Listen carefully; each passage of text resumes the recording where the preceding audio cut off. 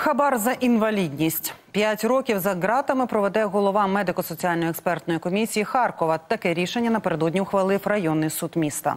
Жінка вимагала 7 тисяч гривень з місцевої мешканки за отримання довідки про час набуття інвалідності. За вимагання хабара від бійця ЗСУ днями затримали голову ВЛК у Чернівцях.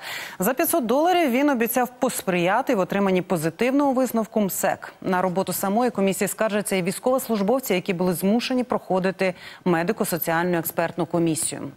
Про роботу МСЕКів та їхні проблеми поговоримо з Катериною Аніщенко, адвокаткою. Пані Катерино, я вас вітаю. Слава Україні! Героям слава! І для розуміння для початку давайте коротко визначимо, що таке медико-соціальна комісія, чим вона займається. Медико-соціальна комісія займається тим, що встановлює групу інвалідності військовослужбовцям, так і цивільним. В даному випадку ми говоримо про військовослужбовців, і, зокрема, за наявності такої довідки, військовослужбовець подальшому може отримати всі соціальні гарантії, які передбачені законом України про соціальний статус військовослужбовців і набуває статусу інваліда війни.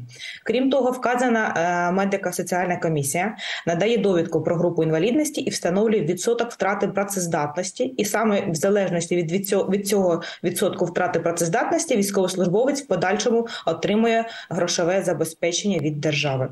Пані Катерино, от е, це та структура, про яку військові в розмовах е, я чула від них, е, казали, що якщо ти втратив ногу, то ти через рік маєш знову туди йти і доводити, що в тебе підтверджувати, що нога не виросла. Це ця структура. І чи діє ця норма досі? На жаль, е, дійсно, коли встановлюється група інвалідності, то е, передбачена така процедура, як переогляд. Тому е, дійсно військовослужбовці повинні через певний перелік часу знову звернутися до цієї комісії і на підтвердження свого статусу, що вони здоров'я в них не покращилось, повинні показатися і повинні надати відповідні медичні документи. На жаль, ця процедура на даний момент не змінилася. А чи відрізняється сама процедура проходження цієї комісії для цивільних і для військовослужбовців? Ні, окремої процедури немає. Що для цивільних, що для військовослужбовців. Е, з цього приводу жодних змін в законодавстві також не було. Отже, одну е, один пункт ми вже згадали, який обтяжує військовослужбовців. А тепер давайте поговоримо про паперову тяганину. Е, чи лишається вона елементом роботи МСЕК, і наскільки там все залежить від підписів, довідок, папірців, мокрих печаток? Наскільки це все затягнуто? Давайте почнемо з того, що не всі військовослужбовці розуміють, як в даному випадку діяти. Да? Вони отримали поранення, контузії. А що далі? Куди далі звертатися? Наприклад, для діючого військовослужбовця, для того, щоб потрапити на цю комісію, да, і отримати цей статус інваліда війни і довідку МСЕК, необхідно спочатку отримати дозвіл від свого командира, який би е, на відповіді на його рапорт надав йому направлення на це МСЕК, щоб військовослужбовець зміг законно покинути частину частину і пройти всіх лікарів, е, всіх е, експертів цієї комісії для військовослужбовця, який звільнився уже з лав ЗСУ, то він повинен отримати направлення на МСЕК через територіальні центри комплектування та соціальної підтримки, тобто через військомати. Тобто, це вже проміжок часу, коли потрібні отримати направлення. Просто так з вулиці прийти до цієї комісії нікому неможливо. Отримали направлення. Окей, звертаємось до цієї комісії. Ми повинні пройти всіх лікарів, а також надати надати всю відповідну медичну документацію на підтвердження того, що у вас є якась там травма. Да, як, наприклад, там якщо це травматолог, то це відповідні заключення від травматолога або кардіолога, якщо це по серцю якісь питання. Цю тяганину бюрократичну бумажну ніхто не відміняв. На жаль, і саме по суті залишається та ж сама процедура, що військовослужбовець повинен довести комісії, що він дійсно хворий, і він е, Являється особою, якій повинно бути присвоєно статус інваліда першої, другої чи третьої групи, і в подальшому отримати законом передбачені е, пільги та відповідні кошти. Також хочу звернути увагу, що е, дійсно процедура дуже довга і потрібно збирати всі підписи всіх е, лікарів, особливу увагу тих лікарів, по якому основному здоров'ю буде здійснено такий саме статус і надано інвалідність, оскільки тут потрібно військовослужбовцю дійсно спрацювати тісно з своїм лікуючим лікарем, тому що процедура МСЕК і призначення інвалідності не передбачена за сукупністю хвороб, а йде якесь одне основне захворювання. І саме з цього приводу дуже часто також виникає питання військовослужбовців, починаючи з отримання направлення і закінчуючи, які ж саме довідки і заключення з діагнозом повинні бути у нього на руках, щоб все ж таки комісія встановила йому групу інвалідності. Е, також е, варто звернути увагу на те, що саме встановлення групи інвалідності, да, починаючи з відсотка втрати працездатності, як я вже говорила, залежить саме грошове забезпечення від держави, і так розуміється, що саме голова МСЕК на підставі документів буде встановлювати йому цю групу, і сам же цей відсоток працездатності. Тобто за головою МСЕК залежить. Кінечне слово, яка група буде присвоєна цьому військовослужбовцю. Крім того, законом передбачена можливість проходити дистанційно МСЕК, оскільки наразі у нас є воєнний стан і були внесені зміни до цього законодавства, де передбачено, що в разі, якщо військовослужбовець або цивільна особа не може прибути на комісійний розгляд свого питання, то е, комісія може прийняти рішення на підставі медичних документів з досвіду, спілкуючись з нашими захисниками, допомагаючи їм, а ми їм наша юридична дипломатична кампанія допомагає з перших днів повномасштабного вторгнення, то хочу зазначити, що навіть ті е, захисники, які не змогли прибути на комісію, е, будучи тяжко поранені, їх документи комісія дистанційно не розглядає. Всі хочуть подивитися наглядно.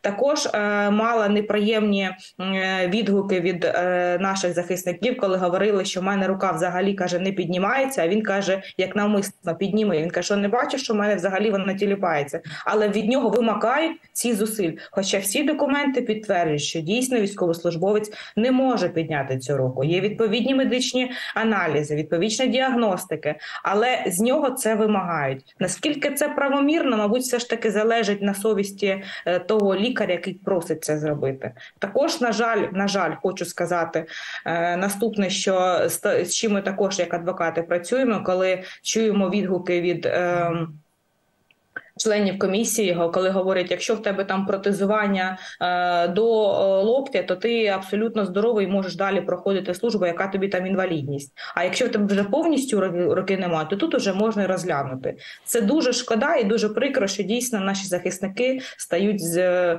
заложниками да, такої ситуації. Мені, як адвокату, як людині, як правнику, дуже шкода таке чути. Тому всіляко намагаємось нашим захисникам допомогти відстояти свої права.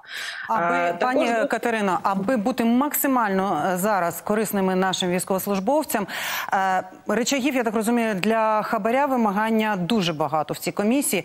Що от ви е, перерахували такі ситуації? Що ді як діяти, що робити військовослужбовцю в такій ситуації?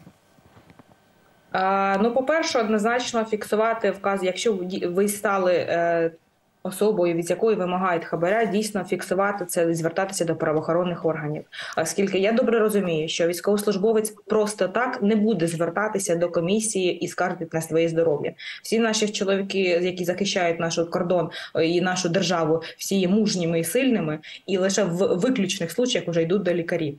І якщо у вас на руках дійсно всі медична документація на підтвердження вашого стану здоров'я, то вам і боятися нічого. Звертатися до правоохоронних органів з метою зафіксувати фіксування неправомірних дій по відношенню до вас. А коли Крім його того, руку кажуть, що він е, дієздатний, а в нього півруки немає, то що в такому випадку робити? Можна оскаржити висновок? Так, так, такі висновки оскаржуються. Передбачена процедура оскарження звернення і до суду. Тим паче, знову ж таки, ви просто на попередження спрацювали. Коли звертаємось до комісії МСЕК, необхідно мати повний перелік документів. Це окрім паспорту, коду, направлення. Це всі медичні документи на підтвердження вашого стану, абсолютно медичне заключення. До речі, з чим також е, варто звернути увагу, що на жаль, не всі. Е, лікарні, військові госпіталі мають відповідні медичні діагностичні центри для для підтвердження цього статусу. Тому військовослужбовці, щоб уже йдучи до комісії МСЕК, повинні мати при собі навіть і е, заключення приватних лікарів, оскільки я добре розумію, що не всі лікарні комплектовані належними е, медичними установ приладами для діагностування такого питання. Тому на жаль, військовослужбовці навіть за власний кошт роблять необхідні обстеження, щоб комісія комісії надати повний перелік документів. Звертаю увагу для наших захисників. Якщо у вас якесь е, ви йдете, наприклад, по захворюванню, по кардіології, по серцю, е, робите всю діагностику, навіть якщо в госпіталі, де ви перебуваєте на лікуванні, або з якої отримали відповідну виписку, е, немає необхідного обстеження. Е, і розумію, що це складно, але необхідно зробити, наприклад, тут ж е, обширний обсяг аналізів. Звертайтеся в приватну лікарню. Ви повинні, на жаль, в даному випадку навіть себе максимально захистити із повним переліком документів. Якщо ви стали е, особою, з якої ну вибачте, знущаються, да і говорять. Те, що то дійсно на підтвердження твоїх слів, правоохоронні органи однозначно, і цей пакет документів, якщо його належним чином зберете, буде вашою доказовою базою в суді і полегшить і вам стан, і вашому адвокату, який буде захищати ваші права. На жаль, на жаль, на жаль, реєстр обмежені судов- в часі, але я вам дуже дякую, як завжди, за корисні е, поради нашим військовослужбовцям. Про проблеми МСЕК ми спілкувалися з Катериною Аніщенко, адвокаткою.